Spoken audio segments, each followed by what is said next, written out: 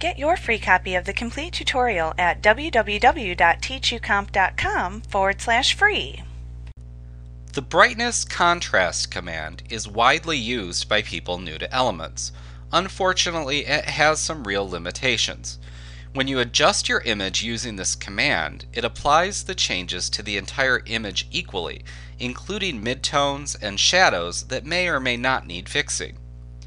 If your image requires subtle adjustments and you want to use this command, select Enhance from the menu bar, go down to Adjust Lighting, and roll over and select Brightness and Contrast.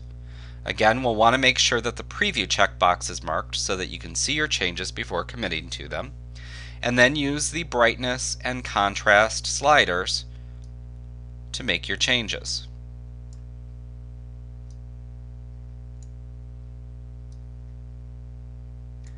When you're done, you just simply click OK.